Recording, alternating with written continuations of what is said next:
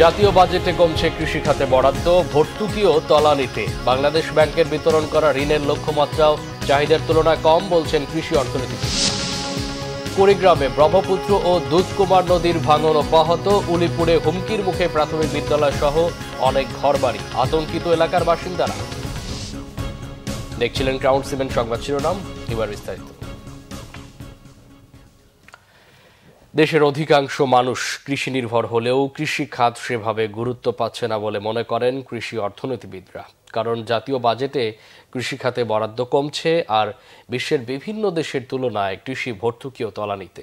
বাংলাদেশ ব্যাংকের বিতরণ করা ঋণের লক্ষ্যমাত্রাও চাহিদার তুলনায় কম, দাবি কৃষি অর্থনীতিবিদদের। গোলাম মইনুল হাসানের প্রতিবেদন, কৃষি খাত নিয়ে দ্বিতীয় পর্ব আজ। আকস্মিক বন্য প্রাকৃতিক দুর্যোগে কৃষকরা এখন নিয়মিত ক্ষতির মুখে পড়ছেন। ফসল নষ্টের কারণে নেতিবাচক প্রভাব পড়ছে কাঁচা বাজারেও। পণ্যের দাম স্থিতিশীল রাখতে ও কৃষকদের সহায়তার বিপরীতে কৃষি মন্ত্রণালয় বলছে, ধারাবাহিকভাবে কমছে ভর্তুকি। চলতি অর্থ বছরে বাজেটে কৃষিতে ভর্তুকি কমানো হয়েছে আট হাজার তিনশো তিরাশি কোটি টাকা। বীজতলা প্রচুর পরিমাণ ক্ষতি হয়েছে প্রায়। আমার মানে এক দুই কাহিনীর মতন সব ধানের ফসল বিনষ্ট হয়ে গেছে ওখানে। সব শেষ হয়ে গেছে জ্বালা টালা সব জ্বালা আলাইছি জ্বালা বিঘি নষ্ট হয়ে গেছে।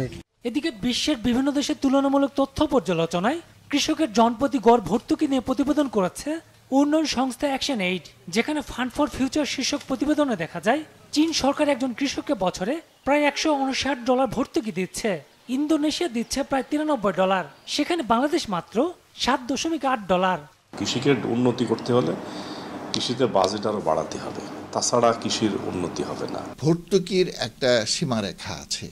আমরা উন্নয়নশীল দেশ এবং উন্নয়নশীল দেশ হিসেবে আমাদের মোট কৃষি উৎপাদনের যে ভ্যালু, সেটার দশ শতাংশ পর্যন্ত আমরা ভর্তুকি দিতে পারি। কিন্তু এ পর্যন্ত আমরা তিন শতাংশের বেশি কখনোই ভর্তুকি দিচ্ছে না। কাজেই পৃথিবীর অন্যান্য দেশে কিন্তু যথেষ্ট ভর্তুকি দেওয়া হয়। বাংলাদেশে আমাদের ভর্তুকির পরিমাণ বাড়ানো দরকার এবং সরাসরি কৃষক কীভাবে এই ভর্তুকিতে উপকৃত হয় উৎসাহিত হয় সেটার জন্য আমাদের ব্যবস্থা নেওয়া দরকার। চলতি অর্থ বছরে ব্যাংকগুলোকে আটত্রিশ হাজার কোটি টাকা কৃষি ঋণ বিতরণের লক্ষ্য দিয়েছে কেন্দ্রীয় ব্যাংক। যদিও কৃষি অর্থনীতিবিদরা বলছেন প্রয়োজনীয় তুলনায় যথেষ্ট কম তা। কৃষি নিয়ে আমরা যত কথা বলি মুখে কথায় যত বেশি গুরুত্ব দেই কার্যত এর নীতিতে এবং এর আর্থিক অনুদানের ক্ষেত্রে আমরা তত বেশি গুরুত্ব দিই না। এবং বাজেটে গত কয়েক বছর ধরে মোট বাজেটে, কৃষি বাজেটের হিস্সা হ্রাস পাচ্ছে। কাজে আমাদের দরকার হলো যে কৃষি বাজেটের হিস্সা বাড়ানো।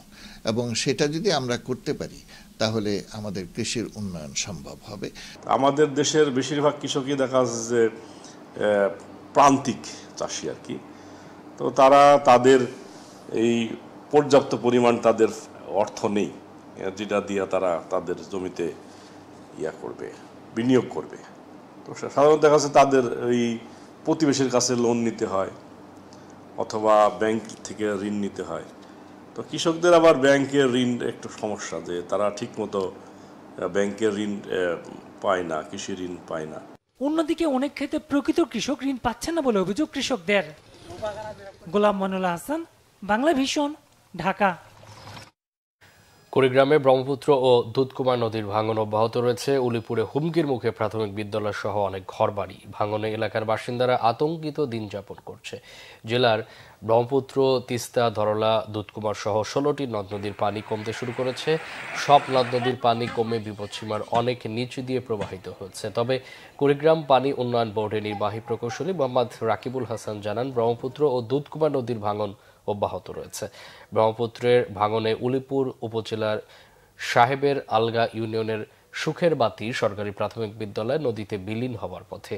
এদিকে দুধকুমার নদী ভুরুঙ্গামারি উপজেলার শিলখুড়ি ইউনিয়নের এক কিলোমিটার এলাকা জুড়ে ভাঙন অব্যাহত রয়েছে। ভাঙনে এরই মধ্যে কয়েক একর ফসলি জমি নদীগর্ভে বিলীন হয়েছে। উপার্জনক্ষম ছেলেকে হারিয়ে দিশেহারা ঝালকাঠির গার্মেন্টস কর্মী রুবেলের বাবা মা ছাত্র জনতার আন্দোলনে পাঁচ অগাস্ট বিজয় মিছিলে গুলিতে নিহত হন রুবেল। ওই দিন গুলিতে আহত হন রুবেলের সাথে থাকা হাবিবুরও। চিকিৎসার খরচ বহন করতে পারছে না তার পরিবার।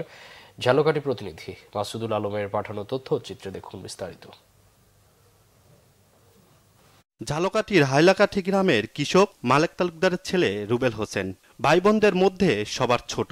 দারিদ্রতার কারণে স্কুলের বারান্দায় থেকে সংসারের হাল ধরতে চাকরি নেন আশুলিয়ার একটি পোশাক কারখানায়। চাকরির টাকায় ভালো চলছিল পরিবার। পাঁচ আগস্ট স্বৈরাচার সরকারের পতনের পর বিজয় মিছিলের গুলিতে নিহত হয় রুবেল দিশেহারা পুরো পরিবার।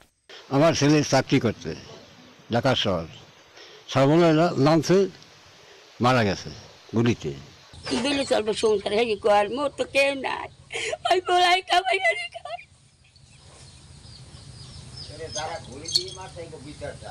আর যেটা গুলি দিয়ে এগো বিশ্বাস চাই আমি এগো বিশ্বাস চাই। তার ফ্যামিলিটা সেই চালাইতো। সে এখন তার ফ্যামিলি খুবই দুর্ভোগে পড়ে গেছে। তার পাশে যদি কেউ থাকে তাকে যদি সহযোগিতা করে তাহলে আমাদের খুবই ভালো হবে। এদিকে রুবেলের সাথেই গুলিতে আহত হন সদর উপজেলার কিস্তাকাটি গ্রামের হাবিবুর রহমান। আর্থিক সংকটের কারণে সুচিকিৎসা না নিয়েই ফিরতে হয়েছে বাড়িতে। ছেলের ভবিষ্যৎ নিয়ে দুশ্চিন্তায় পরিবার। পাঁচই আগস্ট বিজয় মিছিলে নামছি। তখন আমার শরীরে গুলি লাগে। আশুলিয়া থানার সামনে সাভার। আমি ওইখানে এনাম মেডিকেলে চিকিৎসা নেই। এখন আমি মোটামুটি সুস্থ। কিন্তু আমি গার্মেন্টসে চাকরি করতাম। আমি তো এখন আর চাকরি করতে পারব নাকি জানি না। বাবা অসুস্থ সংসার চলতেই খুব বেকায়দা। ওই তো সংসার চালাইছি করছে এই এখন তো খুবই হান যাতে আপনারা একটু ওর পাশে দাঁড়ান। বিত্তবান যারা আছে তাদের কাছে আমাদের আকুল আবেদন এই দুইটা ফ্যামিলির পাশে যেন একটু দাঁড়ায় এবং আর্থিক সহযোগিতা করে। ছাত্র জনতার আন্দোলনে হত্যাযজ্ঞে জড়িতদের বিচার ও নিহত ও আহতদের পরিবারকে সহায়তার দাবি জানিয়েছে এলাকাবাসী। Bangla Vision news desk. এবার খেলা সংবাদ।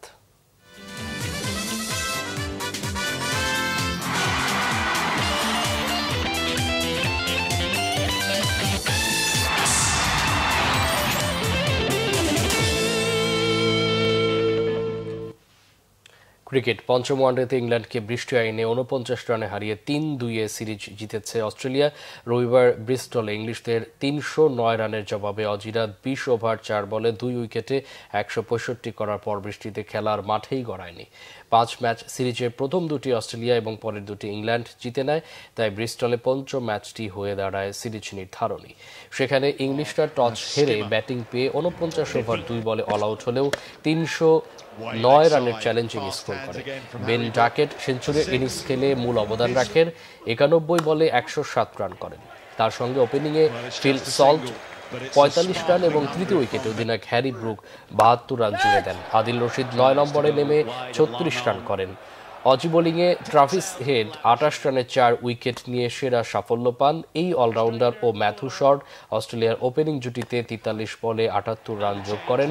হেড ছাব্বিশ বলে একত্রিশ শট ত্রিশ বলে আটান্ন করে ফেরার পর অধিনায়ক স্টিভেন স্মিথ ও উইকেট কিপার জশ ইংলিশ টেনে নিতে থাকেন দলকে। তৃতীয় উইকেটে এরা দুজন বিশ ওভার, দুই বলে স্কোর একশো পঁয়ষট্টিতে নিয়ে যাওয়ার পর বৃষ্টি এসে খেলা বন্ধ করে দেয়।